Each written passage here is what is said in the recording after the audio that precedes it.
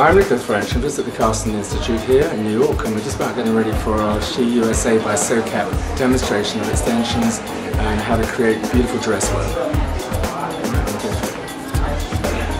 We've got classic, sophisticated. This is something you keep in your mind, you know? And then at the bottom you've got edgy, fashion forward.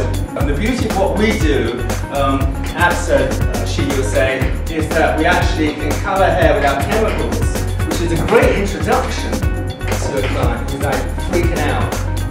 And thing is that we have the lowest heat of all companies. It's like 110 degrees you can actually put hair together, which is amazing. Some of these other companies, it's a real fry up, you know? Interesting. What's going on the floor? I don't So I'm actually spreading the hair around in a circle, you know, away from the scalp, and I'm going to aim to cut the hair around in a circle and then do point cut. Enjoyed the hair extensions when she added the hair and pulled it and I enjoyed the cut. It was really nice. Found it really, really inspiring. He had stories from when his father started his own hair salons. I didn't know that his father designed the Denman brush. I love that brush myself, so it was really, really cool.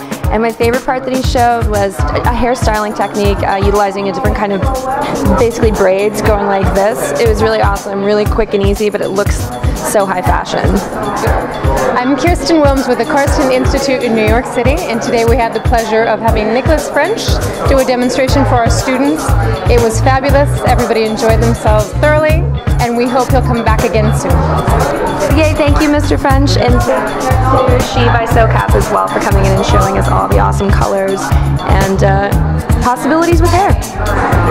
Rock on.